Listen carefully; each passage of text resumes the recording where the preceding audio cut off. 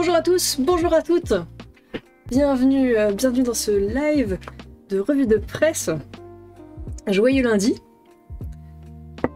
J'espère que, votre week-end s'est bien passé. Excusez-moi un instant, je viens de me rendre compte qu'en fait mes lunettes elles sont hyper sales avec la, la lumière que j'ai euh, sur la tête là. Je m'en- étais pas perçu avant, mais là tout à coup euh, je vois qu'il y a plein de petits trucs sur mes lunettes. Alors je vais prendre un instant pour les nettoyer.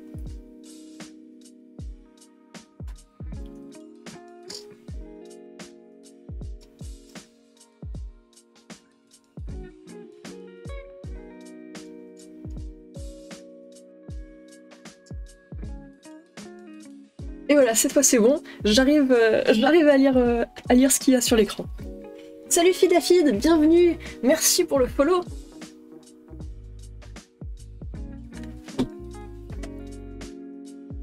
Et puis euh, bonjour Xipem aussi.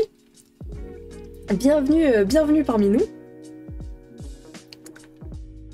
Et on va commencer cette, matinale du lundi avec un article du CNRS sur les astéroïdes. Et même on va voir deux articles de site euh, sur, euh, sur les astéroïdes. Et salut Razinbar Joyeux lundi à toi aussi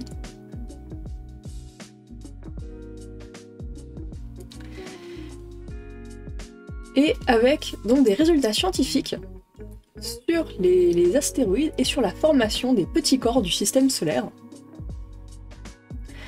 Parce que pour l'instant, eh ben, en on sait pas.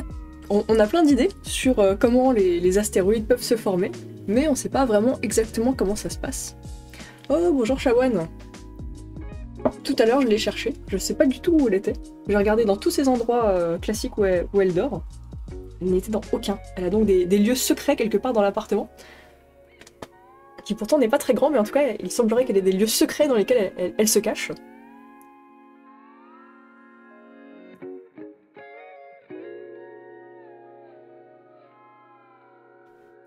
Et donc pour, euh, pour essayer... Salut Niagara, bienvenue, joyeux lundi pour, euh, essayer de comprendre euh, comment ces astéroïdes se forment, un des outils très importants, c'est les simulations numériques.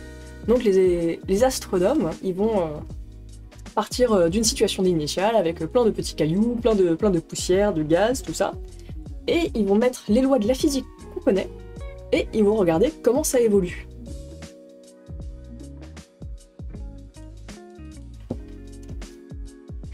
Et il y a un des endroits particulièrement qui est, qui est propice à la formation de, de plein de petits objets, c'est ce qu'on appelle la ligne de glace. Je crois qu'il y a un, petit dessin juste après. Donc quand on est euh, proche du soleil, eh ben, il, fait, il fait très très chaud. Et il y a plein de trucs qui vont être sous forme gazeuse. Et puis à une certaine distance, il va y avoir la possibilité d'avoir des, des cailloux qui commencent à se former, des solides. Le- les, les atomes vont se retrouver sous forme solide avec euh, plusieurs, lignes, on appelle ça des lignes. Donc il y a la ligne des silicates, ça va être l'endroit du disque où les silicates vont pouvoir commencer euh, à, devenir euh, solides. Alors les silicates, bah, en gros, euh, faut penser à du sable. Voilà, donc le, le sable, c'est des silicates. Salut Science Skull, bienvenue Et puis euh, la, ligne des glaces, où là, ça va être euh, euh, plutôt euh, bah, de... Déjà, il va y avoir de, l'eau, et puis euh, d'autres types de glace aussi. Euh, et puis il y a un moment où ça va être euh, carrément euh, des, trucs comme l'azote qui pourront être qui être sous forme solide. Et donc plus on va s'éloigner du soleil, plus il va y avoir de trucs qui vont être sous forme solide. Et à chaque fois, bah, si on prend un type d'élément, et ben l'endroit à partir duquel il peut devenir solide, ça va être la ligne du truc en question.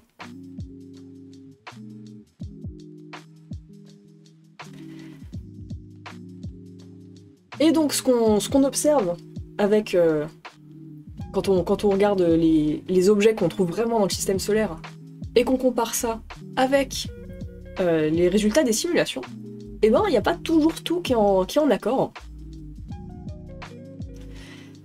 Et du coup, bah, ça veut dire qu'il y a des choses dans nos modèles, dans nos simulations, qu'il faut changer, qu'il faut, qu'il faut mieux comprendre pour pouvoir reproduire ce qu'on observe vraiment. Et donc il y a des gens à, l'Observatoire de la Côte d'Azur, de l'Observatoire de Paris et de l'Institut de physique du globe euh, qui ont montré que ces petits objets du système solaire, ces astéroïdes, etc., auraient pu se former dans deux endroits distincts l'un de l'autre. Et euh, ça expliquerait qu'en fait on ait deux populations différentes d'objets. Donc on a deux groupes d'astéroïdes et de petits corps du système solaire qui ont des propriétés différentes, et donc ça pourrait s'expliquer si ces, objets se formaient dans deux régions différentes. Et donc, euh, notamment donc, euh, des, objets qui se seraient formés euh, près de la ligne des silicates, avec du coup des objets qui sont plutôt rocheux et rocheux, et puis un autre endroit proche de la ligne des glaces, où du coup bah, on se retrouve avec plein d'objets qui sont riches en glace. Et puis on continue avec les astéroïdes, et en particulier l'astéroïde Ryugu. Ryugu qui donc a été exploré par la sonde Hayabusa 2. Hayabusa 2 c'est une mission de la, et c'est la deuxième mission de la JAXA qui a ramené des échantillons d'un astéroïde sur Terre. Hayabusa, c'était la première fois de toute l'histoire de l'humanité qu'on récupérait, on allait chercher sur place, sur un astéroïde, des, euh, des échantillons et qu'on les ramenait sur Terre, et c'était une mission vraiment, euh, vraiment de folie. Il y, a, plein de choses qui se sont mal passées pendant cette mission, et la mission, elle a quand même réussi à remplir tous ses objectifs scientifiques. C'était une mission absolument incroyable, il y a, enfin, il y a, tout qu'à planter en gros. Il y, a, tous les systèmes, tout ce qui aurait pu planter à planter, et malgré ça, la mission a quand même ramené des échantillons sur Terre. Et donc, comme c'était un gros succès, ben, ils ont fait une mission Hayabusa 2, qui allait explorer un autre astéroïde, et euh, en décembre de il y a un an, et oui, Naïgra, il y a effectivement un épisode de Spaceship euh, sur, euh, sur la mission Hayabusa. vous pouvez retrouver Spaceship sur internet.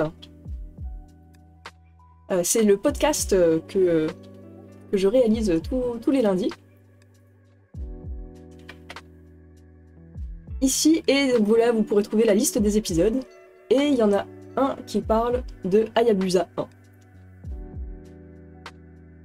Et donc là, c'est là dans l'article du CNRS, on parle de Hayabusa 2. Et donc de, des échantillons de 5 grammes d'échantillons quand même. Alors comme ça, 5 grammes, ça n'a pas l'air d'être beaucoup, mais euh, par rapport à, ce que à la quantité totale d'échantillons d'astéroïdes qu'on a ramenés sur Terre, bah, c'est quand même pas mal. C'est tout à fait honorable. Et en plus, bah, c'est des, échantillons qui ont été collectés à deux endroits différents de l'astéroïde, alors que Hayabusa 1, elle, avait juste récupéré des échantillons à un endroit. Et même Osiris Rex, la mission de la NASA, et eh ben pareil, elle a juste collecté des échantillons à un endroit. Et du coup, bah, depuis décembre 2022, on analyse ces échantillons pour essayer d'en déduire des choses sur les astéroïdes.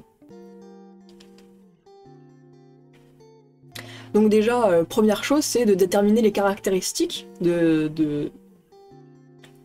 ces échantillons, de quoi est-ce qu'ils sont composés, euh, quel type, euh, quel type d'atomes, quel type d'éléments, mais aussi quelle structure minéralogique, comment est-ce que ces atomes sont agencés dans, les roches. Et l'avantage de ramener des échantillons sur Terre, c'est que du coup, bah, on peut utiliser tous les instruments qu'on a sur Terre, et que du coup, bah, on peut faire des, analyses poussées de, ces échantillons.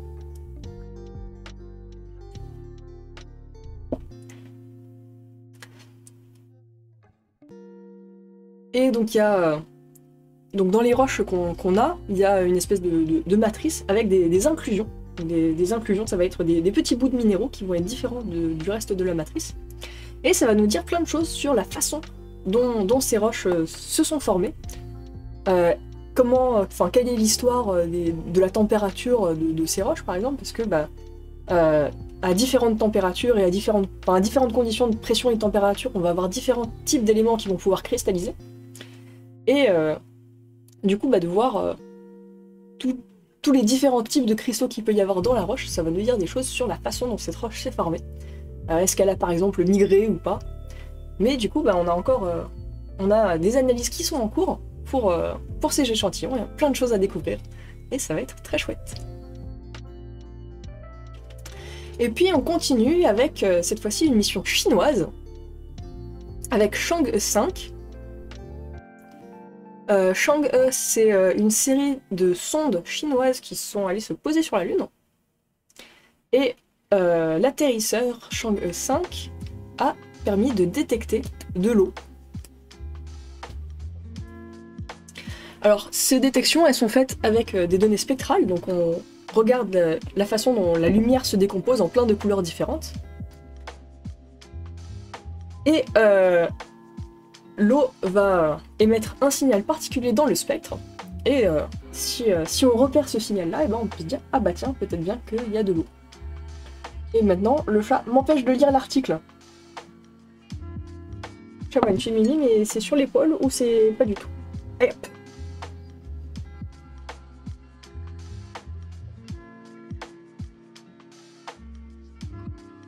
Et donc euh, on a regardé donc, la lumière qui est réfléchie par les roches, et on décompose la lumière réfléchie par les roches en, toutes ses couleurs.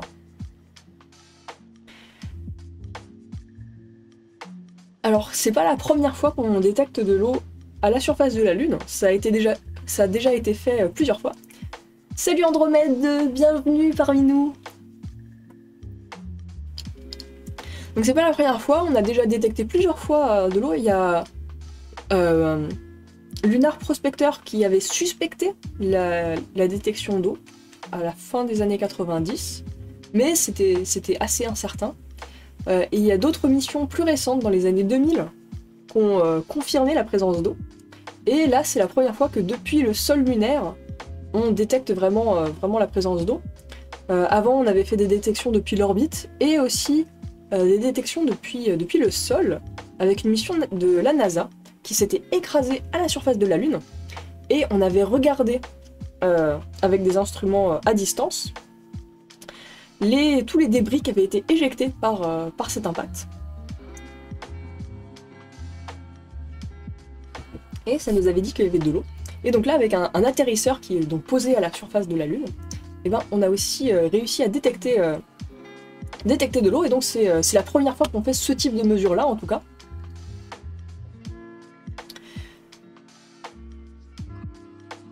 Et euh, Shang 5, elle est aussi, euh, c'est aussi une mission assez intéressante parce que donc non seulement bah, elle s'est posée sur, euh, sur la Lune, mais elle a aussi ramené des échantillons du régolithe lunaire.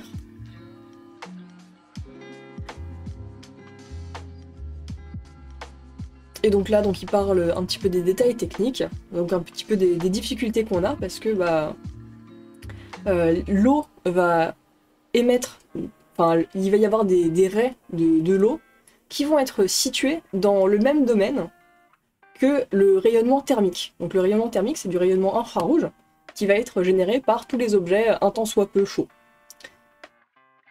Et euh, plus, euh, plus un objet est chaud, plus il va émettre euh, à des, longueurs d'onde qui sont courtes. Et si, on essaie d'observer une raie qui est au milieu d'une bande où les objets autour, eh ben, ils émettent des radiations juste à cause de leur chaleur, et ben du coup ces raies-là, elles vont être masquées. Et donc là, ils décrivent un petit peu ces difficultés-là, de euh, bah il faut regarder euh, les raies qui sont en dehors de cette bande-là. Et donc il y a une bande assez limitée où on peut effectivement faire ces détections-là.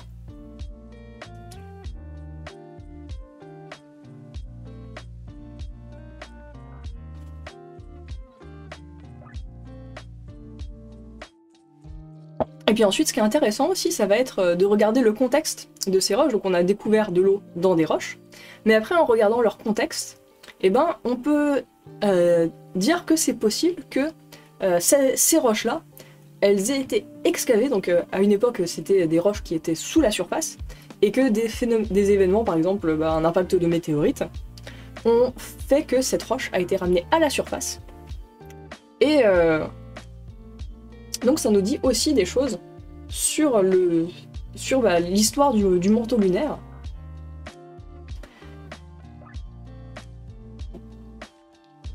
Et donc voilà, voilà pour, euh, voilà pour la mission, euh, voilà pour la mission Chang'e. Et on continue avec la mission IXPE. Alors j'en avais déjà parlé un petit peu en décembre, parce que euh, au moment du lancement, c'est un télescope en rayon X avec un spectropolarimètre. Euh, ou, juste un polarimètre. Peut-être juste un polarimètre, mais en tout cas en rayon X.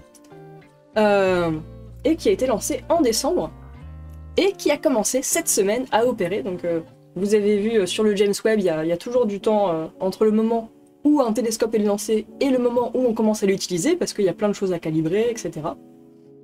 Et IXPE, bah, ça y est, il commence à faire de la science. et à regarder donc en rayon X. Les rayons X, c'est des, des ondes électromagnétiques avec des longueurs d'onde extrêmement courtes donc très énergétiques, et c'est des choses qui vont être produites par des phénomènes très énergétiques. Et qui va regarder donc avec un polarimètre, donc il va regarder la polarisation de la lumière. Alors, la lumière, c'est une onde, et euh, bah, une onde, ça fait euh, mais euh, bah, ça peut aussi faire dans d'autres directions. Ça peut faire donc ça se déplace toujours dans cette direction-là. Mais le, zigzag, il va être orienté de façon différente. Et donc la polarimétrie, bah, ça va nous dire si ça zigzague de haut en bas ou si ça zigzague de droite à gauche pendant que, pendant que l'onde elle avance. Et ça, ça va être, intéressant. Bah déjà, ça, peut nous dire plein de choses sur le milieu qui est traversé, mais aussi sur, euh, l'objet qui, émet la lumière.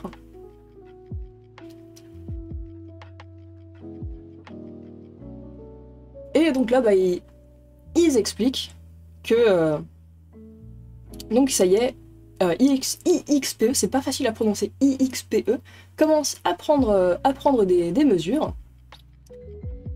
Et on, peut s'attendre à, des découvertes auxquelles on, ne s'attendait pas. On, peut s'attendre à ce qu'il y, ait des choses qu'on découvre qu'on ne pensait pas découvrir.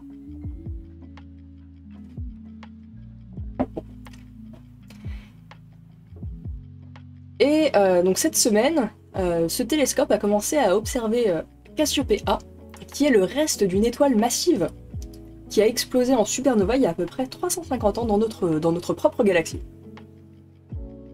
Donc euh, c'est ce qui se passe quand, euh, une étoile a, terminé euh, de brûler tout le, tout le carburant qu'elle a à l'intérieur. Dans certains cas, eh ben, ça peut produire une supernova. Et donc Cassiopeia, c'est cette supernova-ci en particulier. Et il y a le chat qui est en train de mettre plein de poils partout et ça me chatouille le nez, j'ai très envie d'éternuer. C'est une catastrophe.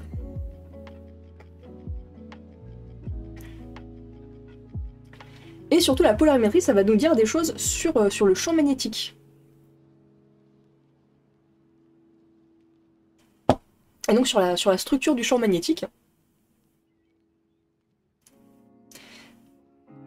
Et euh, les, champs magnétiques, bah, ça, va, ça va nous dire euh, des choses sur bah, comment, comment c'est, quelle est la structure de, de, cet objet, quelle est la structure de, cette, de ce reste de supernova.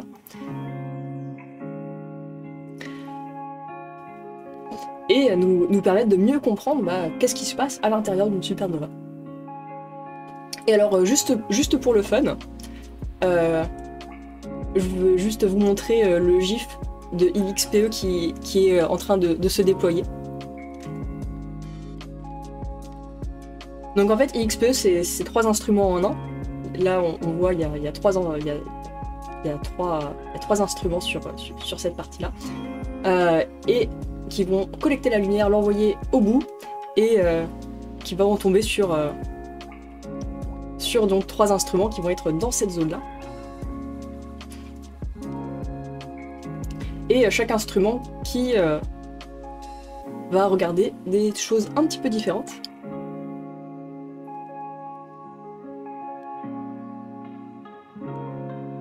Et bah, c'est le même principe que, que le JWST. En fait, cette, structure énorme, eh ben, elle est trop grande pour tenir dans un télescope, et donc il fallait trouver un moyen pour le faire tenir dans une euh, coiffe de fusée. Et donc le moyen qu'ils ont trouvé, c'est de faire cette espèce de tire-bouchon pour, euh, pour le déploiement. Et je trouve, ça, je, trouve, je trouve que ce gif est juste énorme, voilà.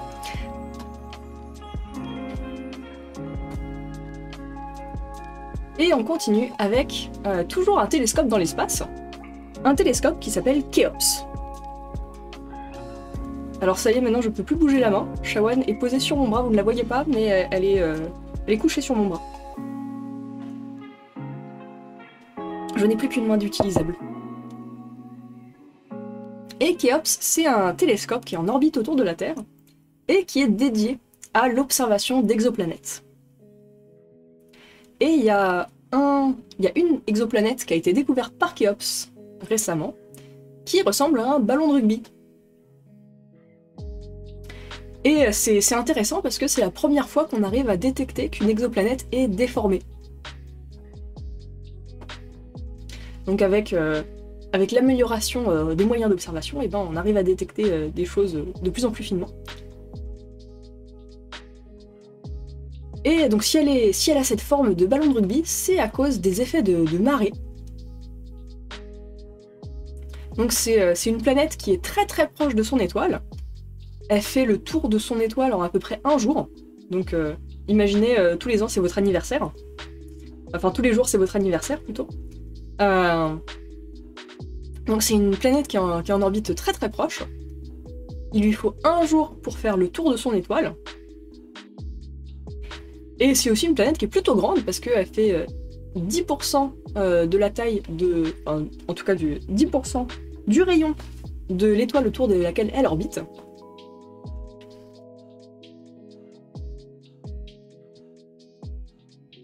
Hop,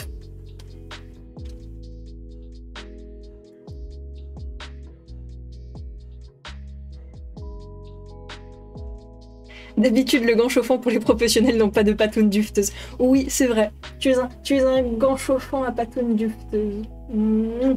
Oh oui. Je sais pas ce que ça veut dire, mais tu es un gant chauffant à patoune dufteuse. Mmh.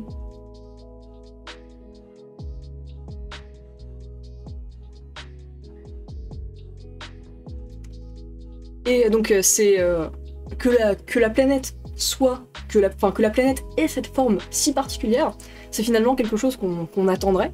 À cause des effets de marée, on sait qu'il va y avoir des, interactions gravitationnelles entre bah, l'étoile et sa planète. Euh, et qui du coup bah, vont, étirer la, planète pour lui donner euh, cette forme un petit, peu, un petit peu aplatie, cette forme un petit peu de ballon de rugby. Euh, mais pour le détecter effectivement en vrai, c'est pas, pas si évident que ça.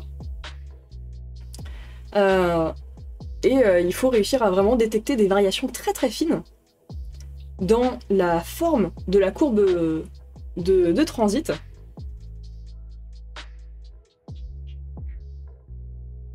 Et non, on n'a pas d'instrument capable de la résoudre pour la voir. Donc euh, si on regarde euh, la planète, et eh ben ce qu'on va voir, on va pas voir une patate comme ça. Enfin en tout cas, on va pas voir la forme de ballon de rugby. Par contre, ce qu'on peut voir, c'est que quand la planète passe devant son étoile, elle va cacher une partie de la lumière. Et quand euh, elle va être pile poil alignée avec le Soleil, elle va cacher un cercle de lumière qui va avoir une certaine superficie. Donc il va y avoir une certaine fraction de la lumière de l'étoile qui va être cachée. Mais quand euh, la planète est, plus proche du bord, eh ben la partie de la planète qu'on va voir, eh ben ça va être euh, une ellipse. Une ellipse qui aura une surface un petit peu plus grande que euh, le, cercle de tout à l'heure. Et donc il va y avoir une portion plus grande de lumière qui va être cachée.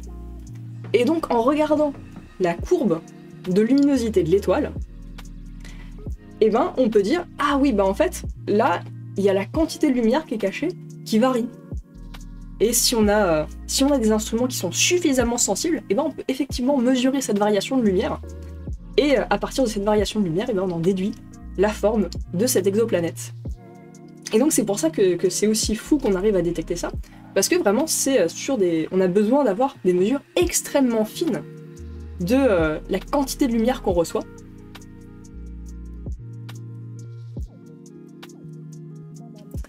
Et donc c'est la première fois qu'on découvre une planète qui a cette forme-là.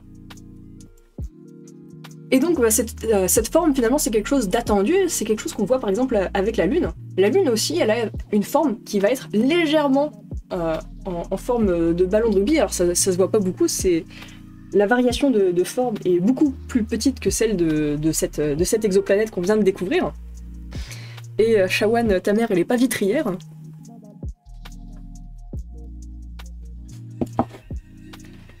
Hop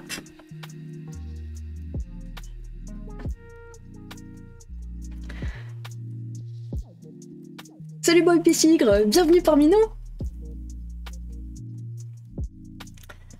c'est quelque chose qu'on voit sur, sur la Lune, d'avoir d'avoir une forme un petit peu de, ballon de rugby comme ça. Alors sur la Lune, c'est très très peu marqué, on le voit quasiment pas. Mais si on mesure vraiment très finement la forme de la Lune, et ben on voit qu'il y, y, a un peu cette, élongation due aux effets de marée. Et donc bah, c'est la même chose avec cette planète, mais en, version euh, plus plus plus. Et puis une autre raison pour laquelle on a pu détecter cette variation, c'est aussi parce que cette planète elle est très très grande par rapport à son étoile. Du coup bah, elle va cacher euh, une portion plus importante de la lumière de l'étoile, et donc ça va être des choses qui vont être plus faciles à détecter.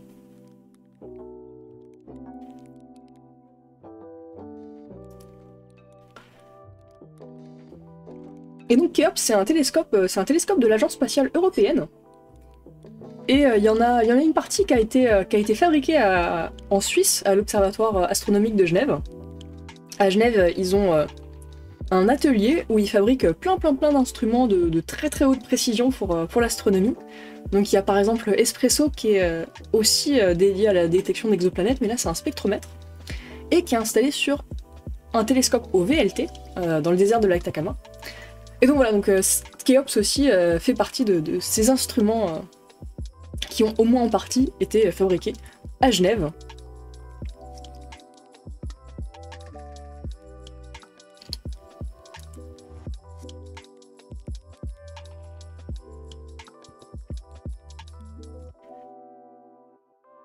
Et puis, à partir de, de ces observations, eh ben, on peut du coup en déduire d'autres choses à partir de, la physique qu'on connaît, on peut en déduire d'autres choses et dire ah bah tiens, euh, la planète s'est déformée de temps. Vu la masse de l'étoile, ça doit vouloir dire que la planète, elle a un matériau qui se déforme euh, de temps. Euh, si c'était un matériau qui était beaucoup plus rigide, eh ben on aurait un objet qui serait plus sphérique, plus proche d'une sphère. Alors il y aurait peut-être une petite ballon de rugbyfication, mais pas autant. Alors que au contraire, si c'était euh, du matériau beaucoup plus déformable, eh ben la forme de ballon de rugby serait encore plus marquée. Et du coup, bah, en disant ah bah du coup la forme de cette exoplanète s'étend, la masse de l'étoile s'étend, la distance entre l'exoplanète et son étoile s'étend, et ben on peut dire ah bah du coup le type de matériau ça pourrait peut-être être ceci ou cela.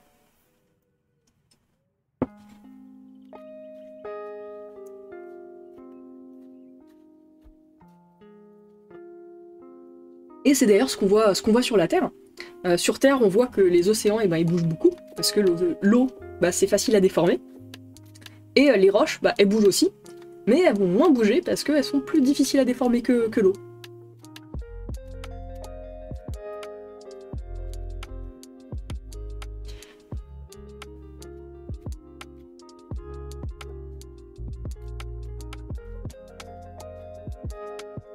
Et euh, bah, on attend, euh, on attend les, mesures du, JWST pour euh, en savoir encore plus, parce que là, bah, du coup, c'est une planète qui, est plutôt intéressante, plutôt intrigante.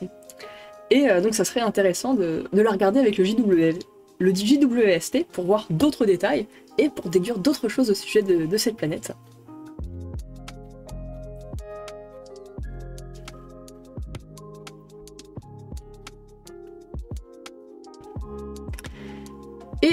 Il y a aussi un autre truc qui est curieux avec, euh, cette planète, c'est que on s'attendrait, vu les interactions de marée qu'il y a entre euh, cette exoplanète et son étoile, on s'attendrait à ce qu'elle se rapproche petit à petit de son étoile, avec une période orbitale qui devient de plus en plus courte. Mais les mesures nous indiquent que c'est le contraire qui se passe, que la planète est petit à petit en train de s'éloigner de son étoile. Ce qui nous laisse penser qu'il n'y a pas que des effets de marée qui sont en train d'avoir un impact sur la trajectoire de, cette planète, sur son orbite. Et euh, du coup, bah, la question c'est euh, bah, qu'est-ce qui, qui, influe sur cette orbite de planète?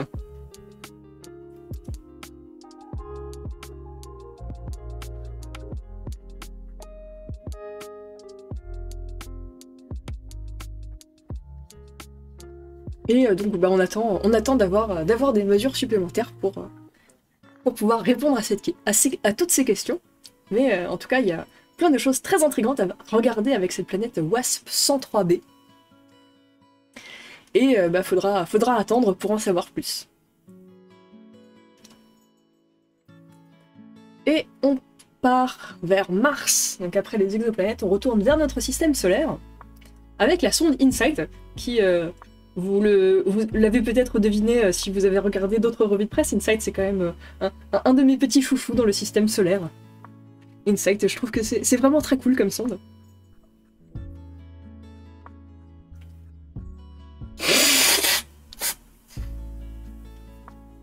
Pardon, il y a le chat qui, me met plein de, plein de poils dans le nez. Et donc Inside, Insight, eh ben on l'a, on l'a mise en veille et Insight à ne pas confondre avec Ingenuity. Euh, Negara qui dit euh, le drone martien. Euh, donc le drone martien c'est Ingenuity qui est le copain de Persévérance. Et Insight c'est juste une sonde qui s'est posée à la surface et qui a déployé un sismomètre et qui donc a, écoute en fait, qui écoute le, ventre, le ventre de Mars et euh, qui du coup cherche à détecter des tremblements de terre.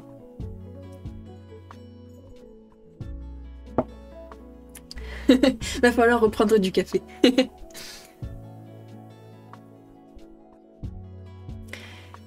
et donc elle a été mise en, euh, en mode de sauvegarde parce que il y a eu une tempête. Sur, euh, sur Mars, il y a régulièrement des, grosses tempêtes qui, qui se produisent. Et ces grosses tempêtes, elles vont soulever plein, plein, plein de poussière. Et on va se retrouver avec plein de poussière qui va être en suspension dans l'atmosphère et qui vont cacher la lumière du soleil. Je vais éternuer. Pardon. Le chat me regarde comme si je l'avais insulté.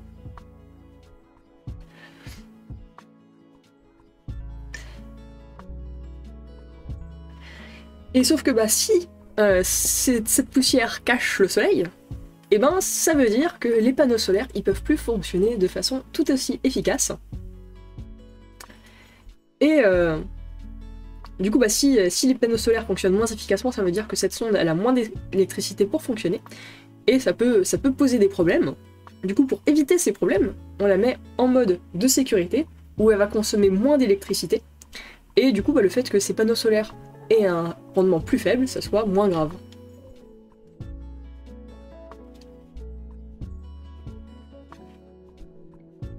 Alors déjà, avant la tempête, euh, il y avait quelques problèmes avec les panneaux solaires qui devenaient de moins en moins efficaces, justement à cause de la poussière qui se déposait petit à petit sur les panneaux solaires.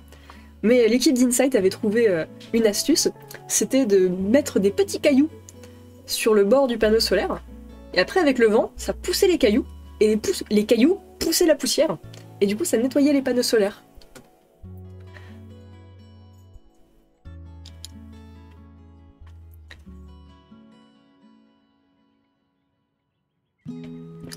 Et euh, du coup, ben, avec, les, avec les tempêtes sur Mars, c'est toujours un petit peu euh, qui tout double. Salut Capra et bienvenue, joyeux lundi.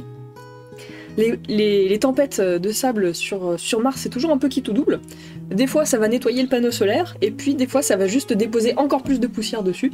Et donc, on sait jamais trop, avant la fin de la tempête solaire, la tempête de poussière, ce qui va se passer, on sait, sait jamais trop. Et euh, donc, on verra à la fin de, cette tempête-ci si euh, ça, ça un petit peu plus les panneaux solaires ou si ça a juste déposé plein de poussière dessus. Euh, et c'est comme ça que, par exemple, Opportunity a cessé de fonctionner euh, Opportunity, c'est un rover qui avait été envoyé il y, a, un bout de temps maintenant pour, euh, explorer Mars. Et suite à une tempête solaire, euh, j'arrête pas de dire tempête solaire, c'est n'importe quoi, une tempête de poussière, ça se termine pareil, ça arrive, mais du coup je me trompe de mots. une tempête de poussière a recouvert les, les enfin en tout cas c'est ce qu'on pense vu les, informations qu'on a, il y a personne qui est allé sur place pour vérifier, mais vu les, informations, la télémétrie qu'on a, et eh ben on pense que euh, ces, panneaux solaires ont été recouverts par la poussière pendant une tempête, et c'est à cause de ça qu'elle a cessé de fonctionner. Excusez-moi, j'ai encore besoin de, me moucher.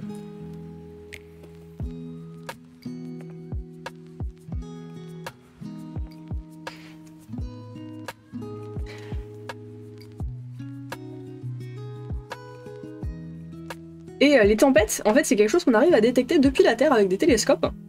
euh, quand il n'y a pas de, tempête sur, sur Mars, eh ben on arrive à voir la, surface, on arrive à voir des, zones plus sombres, des zones plus claires à la surface de Mars.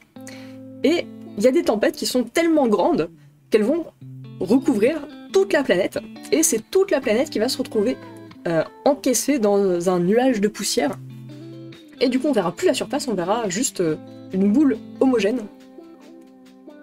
En tout cas, une sphère avec une surface homogène. Et, euh, du coup, bah, c'est quelque chose qu'on arrive à détecter avec, avec des télescopes depuis la Terre. Et c'est quelque chose qui met plein d'incertitudes dans nos missions d'exploration martienne.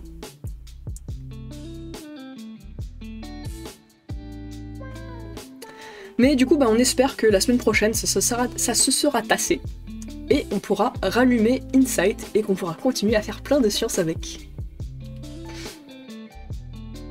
Et puis on continue dans le système solaire avec la mission Lucie. Alors Lucie, c'est une sonde qui est partie pour explorer les astéroïdes troyens de Jupiter. Il y a peut-être un schéma plus loin. Il n'y a pas de schéma. Ils n'ont pas mis de schéma, c'est une catastrophe. Je vais vous expliquer avec les mains. Euh, donc dans l'orbite de Jupiter, un petit peu avant et un petit peu après Jupiter, il y a des zones qu'on appelle des points de Lagrange qui sont stables. Donc c'est euh, comme les points de Lagrange de où on a envoyé le JWST, les points de Lagrange en fait il y en a 5 pour un couple soleil-planète donné.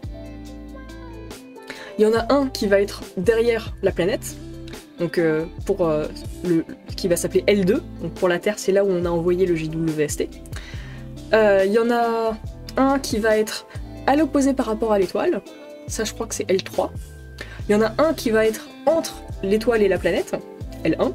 Et après, il y a L4 et L5 qui vont être dans la même orbite, mais qui vont être un petit peu devant et un petit peu derrière. Et ces points L4 et L5 qui sont dans la même orbite, c'est des endroits qui sont stables et les astéroïdes qui se retrouvent par hasard coincés dans ces régions-là, eh ben ils vont rester coincés pendant très longtemps. Et ce qui fait qu'il y a plein plein plein d'astéroïdes qui se sont retrouvés dans ces zones-là. Et Lucie, c'est une mission qu'on a envoyée en octobre pour, euh, aller les explorer. Alors il, va lui falloir encore quelques années de trajet avant d'arriver sur place, et euh, avant de pouvoir effectivement étudier ces astéroïdes. Mais en tout cas, elle a été lancée en octobre. Et après son lancement, il y a deux panneaux solaires qui devaient se déployer, des énormes panneaux solaires, euh, tout, en, rond, et qui devaient se déployer un petit peu comme de l'origami, comme un éventail. Euh, et il y en a un des deux qui s'est bien déployé, et l'autre qui s'est pas complètement déployé. Alors, euh, c'est pas forcément hyper grave pour l'instant, euh, parce que bah, donc, le panneau solaire qui, est bien déployé, plus bah, ce, qui, ce, qui est, ce qui peut être un petit peu collecté avec le panneau solaire mal déployé, et eh ben, ça suffit aux besoins en énergie actuels de la sonde. Mais si on a mis d'aussi grands panneaux solaires sur Lucie, c'est aussi parce que quand on est aussi loin du Soleil, eh ben, c'est plus difficile de collecter de la lumière, il faut une plus grande surface pour réussir à collecter de la lumière. Et donc quand même, on a, besoin, de, ces, panneaux solaires. Et les équipes de la NASA sont en train d'essayer de déterminer ce qui s'est mal passé et comment faire pour résoudre le problème. Mais euh, à, part, ce petit problème euh, avec un des deux panneaux solaires, les systèmes du, de, la sonde sont, sont nominaux. Et euh, avec les conditions d'opération normales, il y a quand même assez d'énergie qui peut être collectée pour, pour fonctionner. Euh, mais du coup, bah, en avril, on va quand même essayer de, de finir le déploiement complet de ce deuxième panneau solaire. Euh, mais euh, on ne sait pas si ça va marcher ou pas. Et du coup, bah, l'équipe de Lucie est en train d'examiner ce qui va se passer si on n'arrive pas à faire, faire ce déploiement complet. Qu'est-ce qui se passe si, euh, si c'est pas possible du tout de, finir le déploiement? Euh, comment est-ce qu'on fait? Est-ce qu'il faut réduire certaines parties de la mission ou pas? euh, Qu'on comment est-ce qu'on gère en fait le fait qu'on aura moins d'électricité que ce qui était prévu?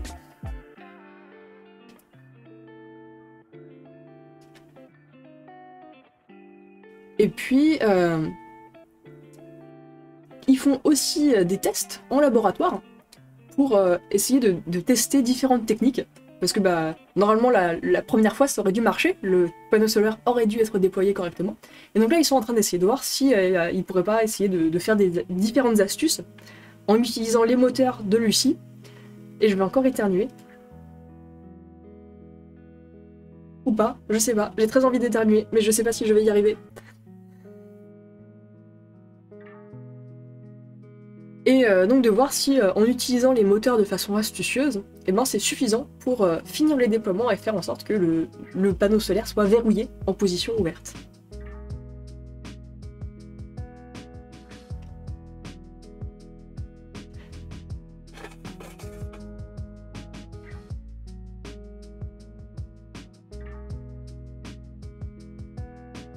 J'ai très envie d'éternuer. C'est difficile de parler en ayant envie d'éternuer.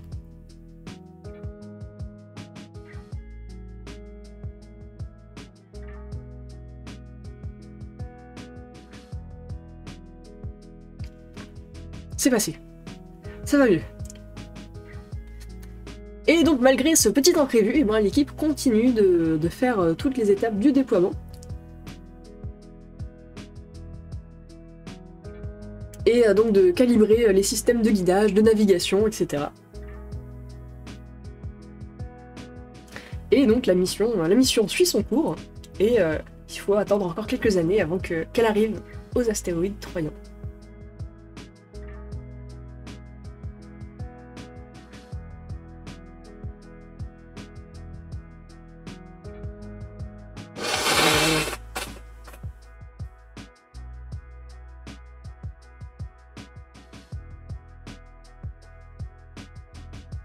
Merci, euh, merci dans le doute, euh, Naigara, qui me dit euh, à tes souhaits dans le doute.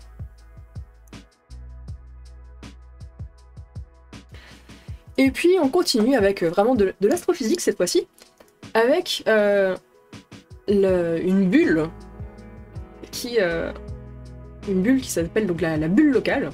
C'est une zone qu'on a autour de, de notre étoile et euh, qu'on qu'on essaye, euh, qu'on essaye de comprendre. Donc c'est une structure qui est, dans notre Voie lactée. Et il se trouve que notre Soleil est à peu près au milieu. Et, euh, en fait, bah, on est à peu près au milieu, vraiment seulement par hasard. Et pousse-toi, Shawan. Hop, voilà.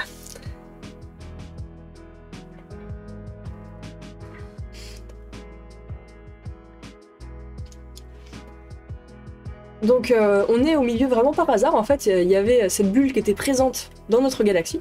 Et notre, notre Soleil, il se déplace dans notre galaxie. Il est en orbite autour du centre de la galaxie. Et euh, notre Soleil est passé euh, à, travers, euh, cette bulle. Et donc c'est vraiment un, hasard si cette bulle est autour de nous. Et sur, euh, les bords de cette bulle, eh ben, il y a euh, de la formation stellaire qui est euh, plus, plus forte que ailleurs. Donc en fait, euh, sur, sur le bord de l'étoile, il y a plein plein plein d'étoiles qui sont en train de, de se former, de très très jeunes étoiles. Euh, et plus donc sur le bord de cette bulle que ailleurs.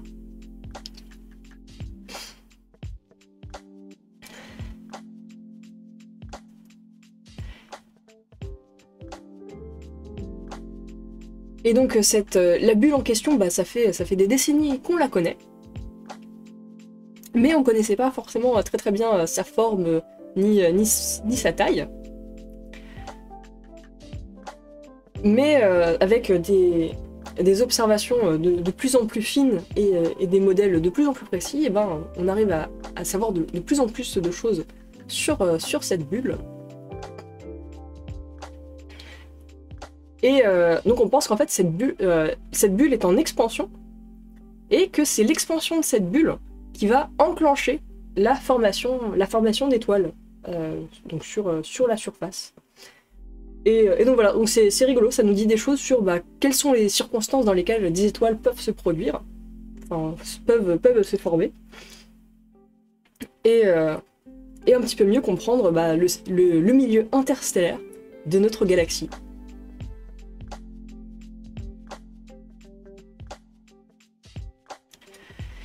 Et puis dans les missions à venir, il y a aussi la mission Plateau.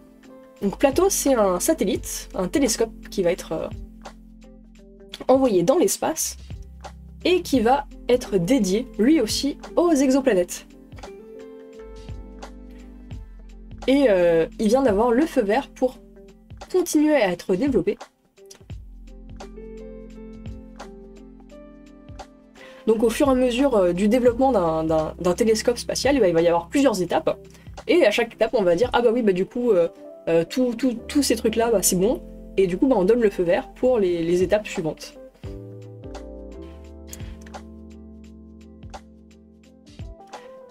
Et donc bah, les, choses, les choses à venir, ça va être la production de, des caméras qui seront à bord de ce télescope.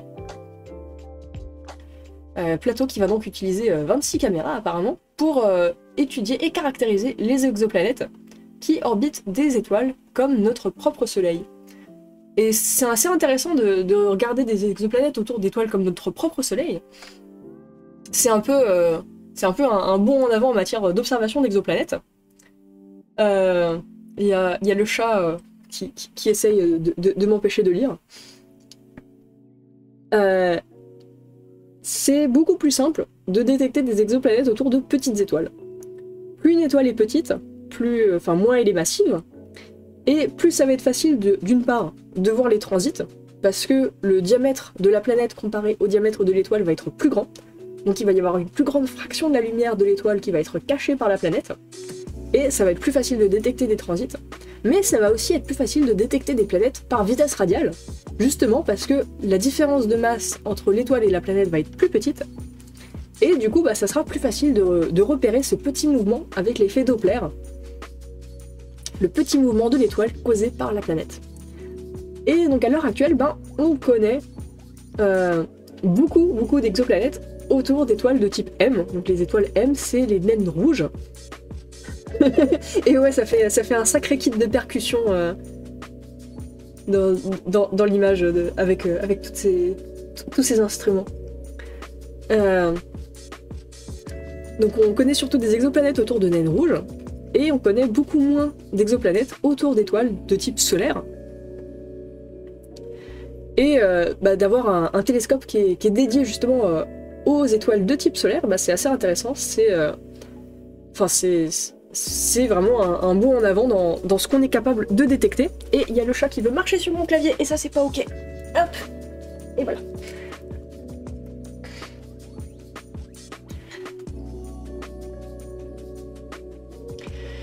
Euh, et donc voilà, ce qu'on voit là, donc le, kit de percussion, c'est euh, le, module de, plateau qui est en train d'être intégré, donc ça veut dire qu'il est en train d'être assemblé euh, avec d'autres morceaux.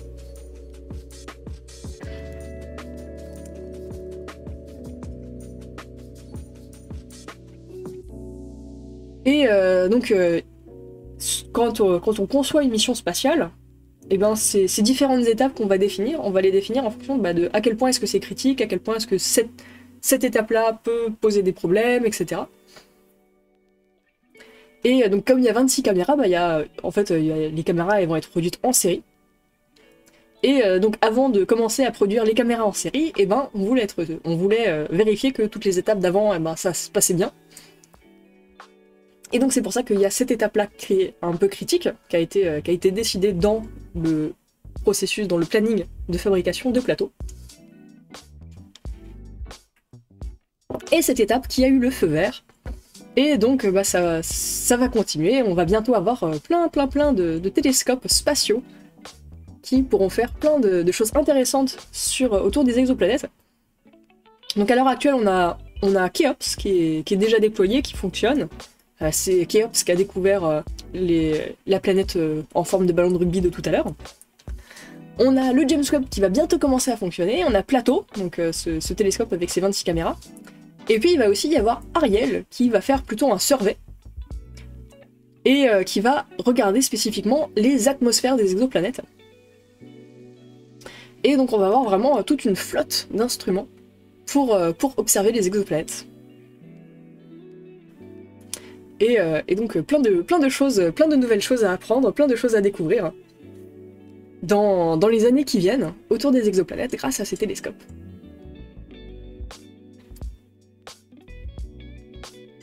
Et puis...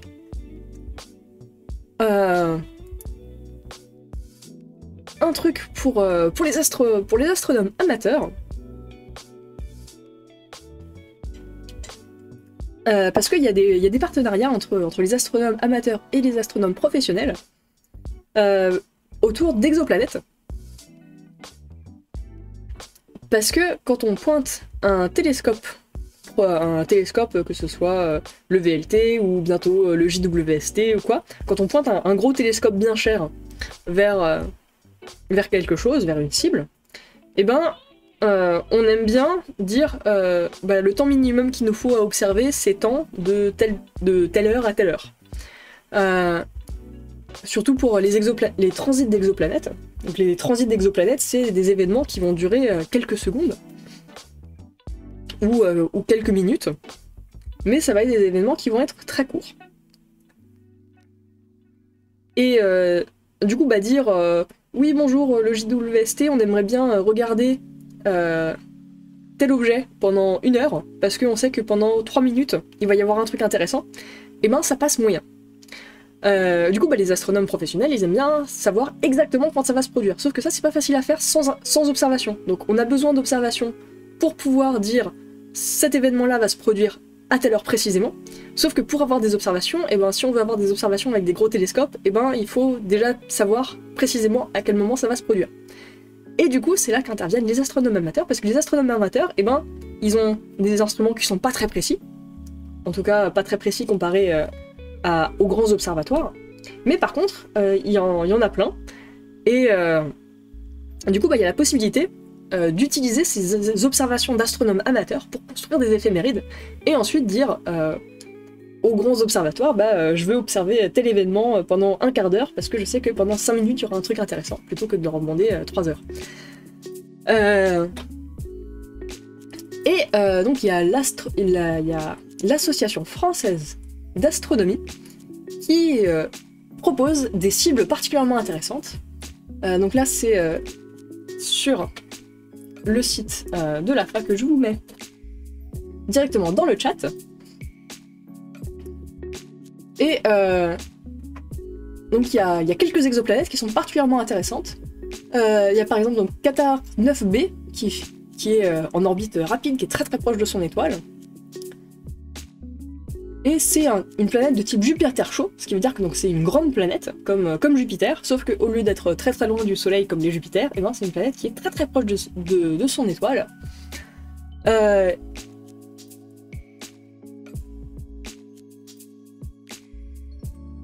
Et euh, on a donc des décalages dans, les temps de transit. Donc on a décalé, on a détecté des décalages dans les temps de transit de, cette planète.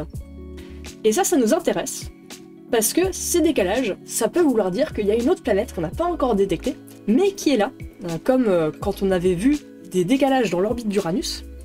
Donc Uranus, eh ben, elle suit pas tout à fait les lois de Kepler. Elle a des petites variations dans son orbite. Et on s'est dit, ah bah tiens, euh, ces variations d'orbite-là, elles pourraient être causées par la présence d'une autre planète. Et donc on a calculé la position que devrait avoir cette autre planète. On a pointé des télescopes dans cette direction et on a découvert Neptune. Et ben avec les exoplanètes, c'est pareil. On voit, ah bah tiens, là il y a un petit décalage dans l'orbite de, de la planète. Elle passe un petit peu plus tôt ou un peu plus tard devant son étoile que ce qu'on avait prévu. Et donc peut-être qu'il y a une autre planète quelque part et donc, on veut euh, avoir plus de transit, on veut, euh, on veut observer autant de transit que possible de cette planète, enfin de cette exoplanète Qatar 9b, pour pouvoir dire Ah bah tiens, euh, vu la trajectoire qu'elle a, on pense que peut-être il y a une exoplanète ici ou ici.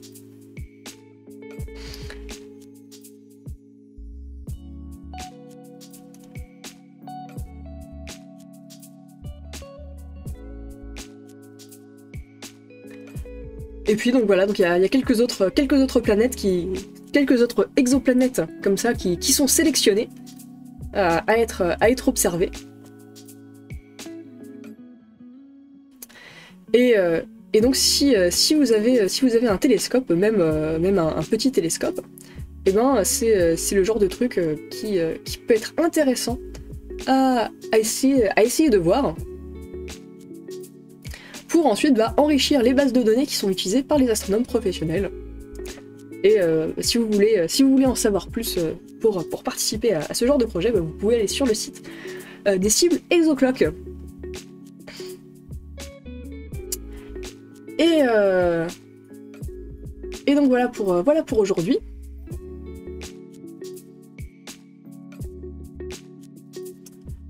J'espère, j'espère que cette matinale, cette matinale vous a plu. Vous a plu. et puis on se retrouve lundi prochain pour une prochaine session de, euh, de revue de presse. Ah, j'ai oublié, j'ai oublié, j'ai oublié de faire la section histoire. Tant pis, je la ferai la semaine, je la ferai la semaine prochaine. Euh, merci, merci beaucoup, merci beaucoup d'être venu. On se retrouve donc lundi prochain pour un, une nouvelle session de revue de presse. Et puis d'ici là, on peut aussi se retrouver demain soir à 19h pour le planétarium virtuel. Euh, peut-être à un moment donné dans la semaine pour faire, du dessin, pour faire euh, peut-être peut-être une maquette, que sais-je. Et puis, euh, vous pouvez aussi retrouver dès ce soir un nouvel épisode du podcast Spaceship. Et je vous souhaite une très bonne semaine. Et à bientôt Ciao ciao